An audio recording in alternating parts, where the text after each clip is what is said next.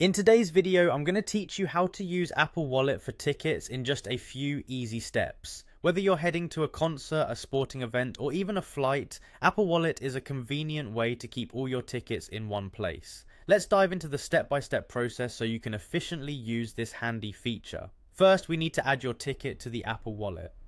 Typically, when you purchase a ticket, you'll receive it via email, within an app, or through a website. You should see an option that says Add to Apple Wallet. It's usually a button or a link, so make sure you tap this option.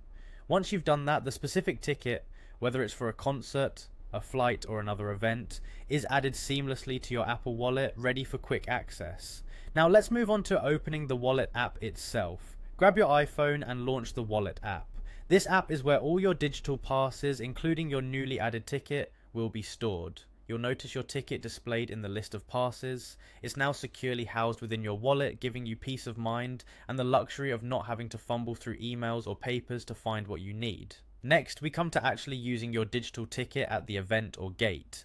When the day of your event arrives, you'll need to access your ticket through your iPhone.